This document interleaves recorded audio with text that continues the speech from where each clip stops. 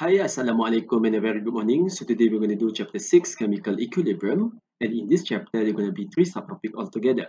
So we have the subtopic of 6.1 dynamic equilibrium, subtopic of 6.2 equilibrium constant, and then the subtopic of 6.3, the Le Chatelier's principle. And in this chapter, we're going to focus on the subtopic of 6.1 dynamic equilibrium first. So in this video, we're going to learn on how to explain a reversible reaction dynamic equilibrium as well as the law of mass of action. We're also going to state the characteristic of a system in equilibrium. Last but not least, we're going to explain the change of the concentration of the reactant as well as the product based on the curve of the graph of the concentration against time for a reversible reaction. So we're going to look about all of this learning outcome in this video. So without any further ado, let us start. So forward and reversible reaction. So forward reaction is basically a non-reversible reaction and goes only in one direction in order to form the product. And it is denoted by a single-headed arrow showing it to be like this, where the direction goes from a reactant towards the product. For the forward reaction, the reaction is continuous until one of the reactant is completely used up and the reaction stops. So you can look about the example below here. So you can imagine that one of the reactant is the excess reactant and one of the reactant here is the limiting reactant. So when one of the reactant is completely used up, the reaction gonna be stopped because no more product can be formed. And hence, when the reaction move in only one direction, then it is known as the forward reaction. Okay, in one direction only, yaitu satu arah. Meanwhile, for the reversible reaction, the reaction will take place in both forward and reverse direction, and most chemical reactions are indeed reversible. So, by meaning of reversible reaction, um, initially the reaction will proceed towards the formation of the product. Let's say, initially we have a lot of reactant, right?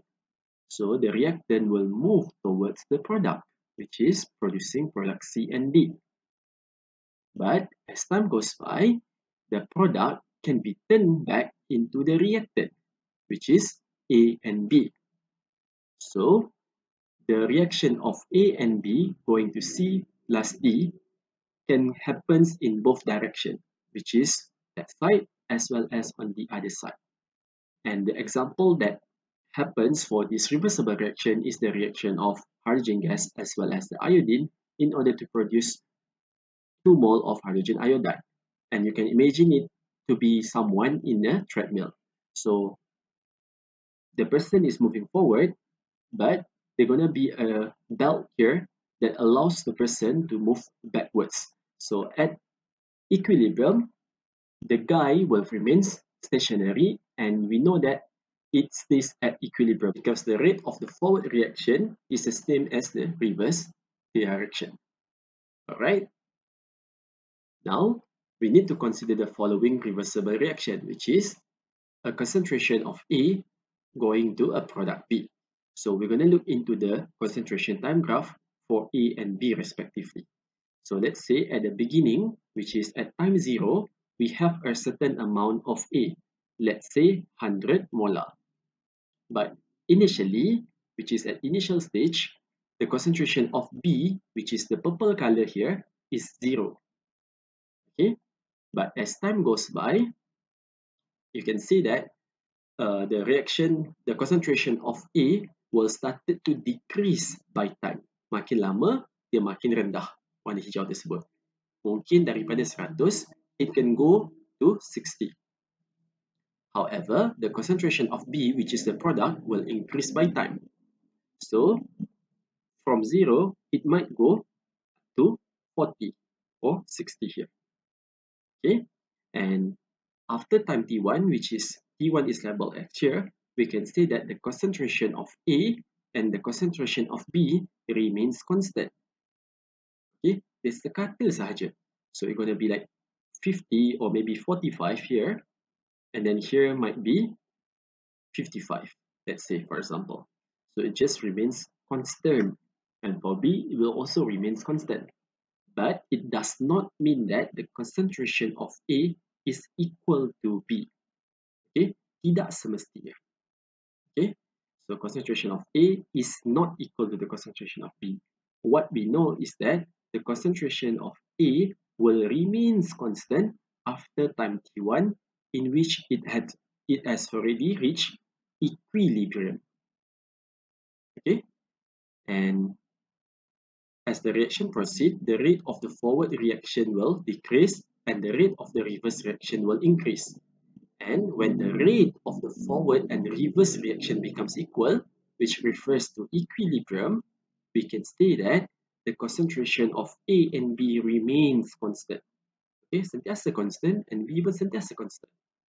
And at this point, we say that they have achieved chemical equilibrium. And after time T1, the reaction still continues. Dia tidak berhenti. Dia masih berlaku, but it just goes in the same manner, which is the rate of the forward reaction is the same as the reverse direction. And this is known as the dynamic equilibrium. And to understand more about this point here, let us look into the next slide. Okay, so now we're going to look into the reaction rate the graph of the reaction rate against time.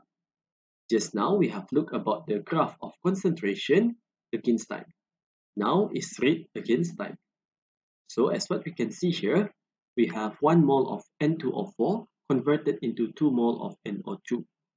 So at time A, we can see that the rate of the forward reaction is much, much larger than the rate of the reverse reaction, which is smaller. But as time goes by, which is at position B here, the rate of the forward reaction started to reduce, so it getting smaller in size. However, the rate of the reverse direction, which is the product going to the reactant, will get higher. So you're gonna having a bigger error here. Okay, but at time t1, the system has reached equilibrium.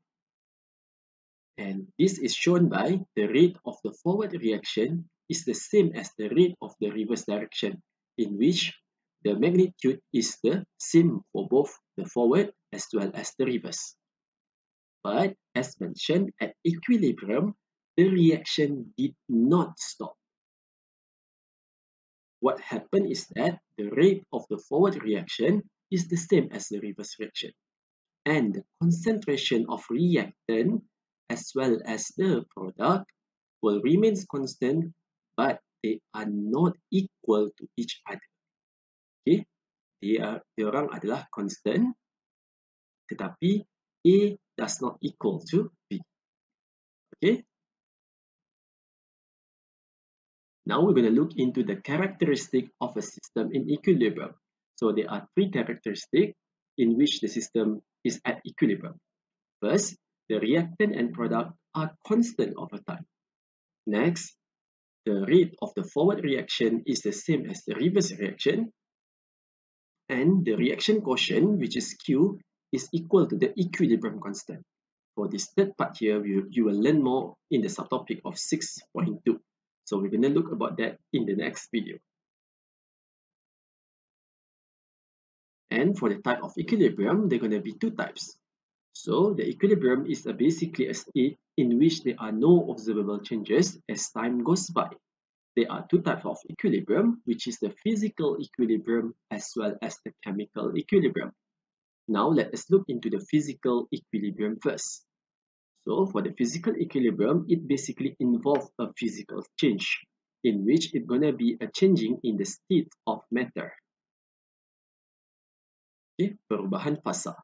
Let's say if you have a liquid water converted into the water vapor. So the chemical composition, which is H2O and H2O is still the same. What's different is, is at the states of matter. So from liquid into gas. So at equilibrium, the H2O liquid is at equilibrium with the H2O water vapor and the rate of the forward reaction is the same as the rate of the reverse reaction and it is only consistent when it is at the closed system. So equilibrium can only be achieved at the closed system, which means that there is no external pressure or external factors that gonna disturb the equilibrium. And as mentioned, the reaction does not stop, but it just happened to be that the rate of the conversion into water vapor and the conversion of water vapor into liquid is the same at that point, which is at the equilibrium side. For the chemical equilibrium, it will involve changes in the chemical composition. So let's say if you have the N2O4 gases converted into 2 mole of NO2 gases, we can say that uh, there are going to be a changes in color, which is from colorless into brown. So when we introduce some of the N2O4 into a sealed flask, which at kept at 100 degrees Celsius, we can see that there are going to be a changes immediately. So when we put the N2O4 inside the flask, we can see that the gas begin to turn pale brown. And the color of the gases in the flask will slowly darken, but after a while, we cannot see any color changes, which is at point C and D. And this clearly refers that it has achieved dynamic equilibrium because there are gonna be any no color changes and they're gonna be achieving a dynamic equilibrium where the rate of the forward reaction is the same as the reverse direction.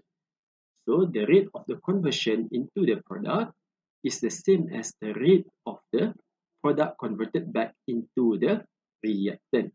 So at this point here, we can say that the reaction still continue, but the rate of forward and the reverse direction is the same.